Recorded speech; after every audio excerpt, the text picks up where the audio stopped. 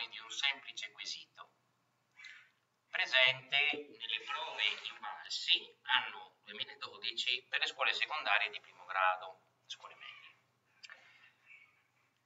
Il testo chiede di determinare qual è la decima parte di 10 alla ventesima, quindi del numero 10 alla ventesima, e vi sono le quattro alternative proposte, solo una di queste è corretta. Cosa significa trovare la decima parte? Cosa vuol dire trovare, determinare la decima parte di un numero? Perché 10 alla ventesima altro non è che un numero naturale, è una potenza di 10, ma è un numero naturale. Equivalentemente, cosa vorrebbe dire trovare la quarta parte, la quinta parte?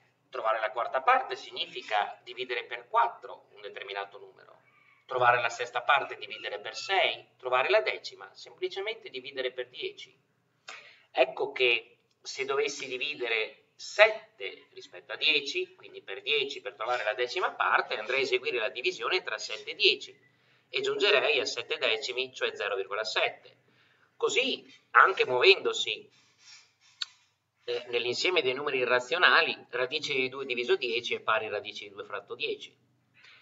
Circa 10 alla ventesima, 10 alla ventesima diviso 10, ho riscritto il 10 come un 10 alla prima, in modo da poter applicare la proprietà delle potenze riguardanti il quoziente, cioè la divisione, tra potenze che hanno la stessa base, che mi porta a una potenza che per base ha la stessa, in questo caso 10, e per esponente la differenza tra gli esponenti, quindi 20 meno 1.